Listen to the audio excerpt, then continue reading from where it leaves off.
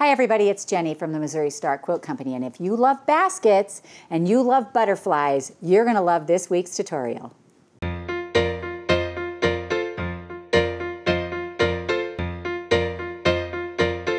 Take a look at this quilt behind me. Look at this fabric. Isn't this the most vibrant thing you've seen? It's just gorgeous. I'm going to show you a quick, easy way to make baskets, and we are going to have a fun time with this butterfly border out here. So to make this quilt, you're going to need one package of 10-inch squares, and we have used Elysian by Jason Yenter for In the Beginning fabrics. You're going to need two and a half yards of a background fabric, and we've used this nice black. Your border is going to be one and three quarter yards of a border fabric, and your backing is going to be four and three quarter yards of a 45 or two and a half yards of a 108. You're also going to need some fusible, and we have used Missouri Star Sew Light fusible, and an eight and a half inch squaring ruler will be helpful as well.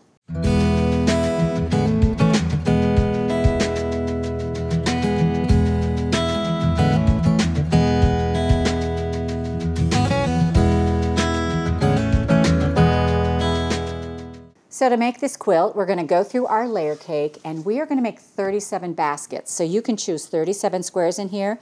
They do include some of the butterfly squares uh, in the layer cake, which I actually pulled out because I didn't think they'd make great baskets. And if your butterfly is centered exactly, you can use that for one of our butterflies that's in the corner or on the quilt right here. But they're not always centered perfectly, so I actually cut those out of the border. So let me show you how to do these baskets because this is really fun. So we're going to take our, our 10 inch square and we are going to cut three and a half inches off of both sides. So we're going to cut one this way on the side, three and a half. And then we're going to turn this piece and we're going to cut three and a half. Just like that. Then on this one right here, we're going to cut a three and a half inch square like this. And it's going to leave you with these two pieces right here. Now you get two of these pieces off of every square you cut. And so you will get quite a pile of these. And I was going to make a secondary project with these because how cool would that be? But I actually just ran out of time. So set those aside for an additional project that you can come up with because it's going to be amazing. All right, so this should be a six and a half inch square, and it is. We're going to set keep those two colors together and put them over here. So once you get your two pieces cut, then we're ready for the background. Now out of the background, we're going to cut for each block one five inch square and then you're going to cut a rectangle that is four and a half by eight and a half. And so we're going to put those over here. And this is the fabric that we need to make our basket. So the first thing we're going to do is we're going to take our six and a half inch square and we are going to cut it once on the diagonal. So just cut it on the diagonal like this. And we're going to set these aside. Then we're going to take our little three inch square right here, or three and a half, and we're going to put it on the 5 inch square like this. And we're going to draw a line corner to corner. So we're going to draw a line on here, corner to corner, and we're going to sew right on the line. So let me just get up here and put your put your presser foot, put your needle right on the line you've drawn. You can use your diagonal seam tape on this and just line it up on the red line and just sew it through. Now because this is a pretty big um, piece that we have extra out here, I actually sewed another line about a half an inch away because I can use these half square triangles and if I do that right now, they're all ready together. So I'm gonna put this over here in my stack of, we're gonna make another project out of this that's gonna be really cool. Because this fabric is just so gorgeous. All right, so what we're gonna do right here is we are going to go ahead and press this back. And then we are going to cut this on the diagonal through the color just like this. So this is a really cool way to make a basket, you guys. All right, so we're going to set these aside for now. And this is going to be our basket. And this is going to be our handle. So for your handle, if you cut a strip of fabric that is, or a strip of heat and bond that is about six inches wide, you can just trace all your handles on here. And so what I do is I rough cut these out like this. Just do really rough. And I'm gonna lay my handle on the back side of, I mean, uh, my heat and bond on the back side of this fabric right here. And you can tell on my tracing, it is not perfect. So what we're gonna do on here is uh, see how I have this and see how it's not it's not exactly perfect because I know as when I come in with my scissors that I'm going to make it perfect. So I like to fold this in half and I'm going to make sure that my legs line up pretty good like this. And then I'm really just using one side as a pattern. And so I'm just going to cut here, make a nice gentle curve like this. And this way they both come out identical. They're the same size. You don't have a wonky side and a not so wonky side. And then this is your little handle right here. So on your four and a half by eight and a half inch rectangle, we are going to put this handle on, just like that. Lay it on here. And we are going to just eyeball that. Make sure it's on there real nice looks how you want it to. And then we're going to press that down. And then we're going to machine applique around the top of that. So you can straight stitch it, you can zigzag it, you can you know, do a little applique stitch, whatever you want to do. Uh, my sewing machine is only a straight stitch right here, but all my other ones that I've done, you can see they have that nice little blanket stitch that runs around the outside edge, that little applique stitch, and it works real well.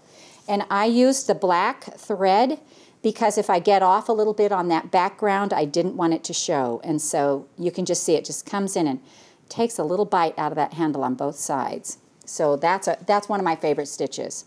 All right, now we're ready to make the bottom of our basket. So we're gonna grab our triangle right here, and then we're gonna grab our two side pieces like this that we cut earlier. And these are gonna go on here just like this. How cool is that? And we've made the bottom of our basket.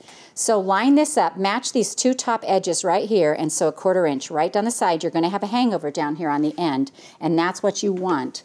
So we're going to line these up right here, sew a quarter of an inch.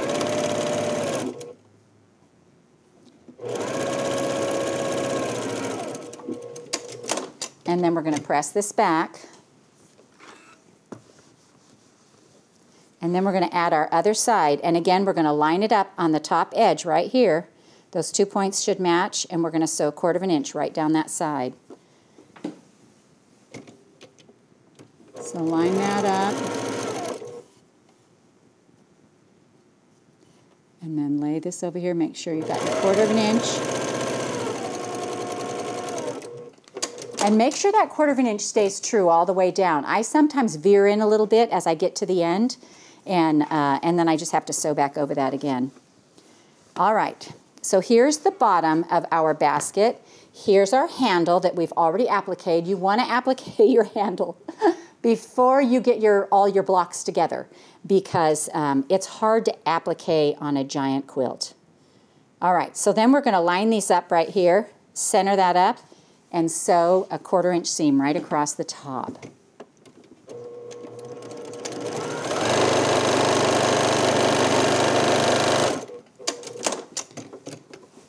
We're going to press this open. And this is our cute little quick and easy basket block. How fun was that? Just so quick. All right, now because we're not perfect, we're going to line this up on an eight and a half inch ruler. We're going to make sure that we have, um, you know, no, no edges peeking out. You might have a little bit here or a dog ear there. It should come out pretty close. And your little baskets are done. You're going to make 37 of those. So let's talk now about our butterfly blocks, which are on here and in the corners, and our borders. So you guys, this border fabric comes like this. Let me just show you. So it comes off the bolt like this with, look at these rows of butterflies. And you are going to just cut however wide you want your border to be. You're going to cut there and you're going to make your borders. And you're going to cut them the length of your sides. You want this to be all one piece. I actually thought about mitering the corners at the top, but I never could. This is not a great quilt to miter on because I never could get the butterfly so that it looked like a butterfly once I mitered it. So because the mitering didn't work out, I went ahead and my border is 10 and a half inches wide, and so I cut a 10 and a half inch square for the corner and appliqued butterflies on there. Now, most of these butterflies, I want to point this out, most of them are kind of laying over another butterfly. Another butterfly kind of comes over it. I didn't worry about that when I was cutting them out. I just cut it out how it would normally look and you can't tell the difference. And so like this butterfly right here has a, has a little piece down here of another butterfly in it, but you don't notice that. That's not something that's gonna draw your eye. And so I have one going over here. Let me find it. Here it is right here. And I just took my square, eyeballed it on there, and just, you know, sewed around it as gently as I could. Now, the little antenna on these butterflies are very tiny. So look here. See how small they are? I went ahead and cut some background around them so they weren't so tiny. I was afraid that if I cut them too tiny that they, they would literally just pull apart, and so they didn't. And so I made up the rest of my squares. So I have 37 baskets, and I have, you know, 38, 39 with these butterflies. So that enabled me to put one, two, three, four, five, six baskets in the top row, and then on the next row, I put one, two, three, four, five blocks in there. When the rows set in like this, it's a four and a half by eight and a half in, inch rectangle. And so that just sets them in. And then of course, six and five and six and five.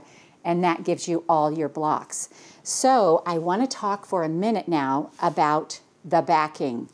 Take a look at this backing. This is a cheater fabric. But this backing is so gorgeous and it looks like you sewed a whole bunch of tiny little squares together. Looks like you worked so hard. I love this backing and I just think it's a gorgeous back. It's a gorgeous line. So again, I put a nice big 10 and a half inch border on here. Our quilt pattern is called Flutterby. It's little tiny butterflies that are just floating across the quilt. It's so darling. Looks really great. I love the look of this. However, I wanted to show you also, this is what the baskets look like on a white background. You know, so you'd change the whole look of this quilt if you change the background fabric. So don't be afraid to do that. Make it what you want. It's your quilt. So this makes a great size quilt. It is 68 by 76, and we hope you enjoyed this tutorial on the Baskets and Butterflies quilt from the Missouri Star Quilt Company. Hi everybody, it's Jenny from the Missouri Star Quilt Company. We hope you enjoyed watching this video. If you aren't already part of the Missouri Star Quilt Company family, be sure to subscribe so you won't miss a thing. And if you click that bell, it'll notify you every time a new tutorial comes out. See you next Friday.